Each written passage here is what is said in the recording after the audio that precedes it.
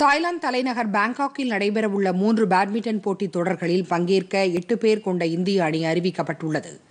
இந்த அணியில் முன்னணி வீரர் வீராங்கனைகளான P V Sindhu Saina Nehwal Sai Praneeth Kidambi Srikanth Satwik Sairaj Rankireddy Chirag Shetty Ashwini Ponnappa Sikki Reddy ஆகியோர் இடம்பெற்றுள்ளனர் அடுத்த மாதம் பனிரெண்டாம் தேதி முதல் முப்பத்தொன்றாம் தேதி வரை மூன்று பேட்மிண்டன் தொடர்கள் தாய்லாந்தில் நடைபெறவுள்ளன. கொரோனா ஊரடங்கால் பல்வேறு போட்டிகள் தடைப்பட்ட நிலையில் முதன்முறையாக இந்திய பேட்மிண்டன் வீரர்கள் இந்த போட்டிகளில் பங்கேற்க உள்ளனர்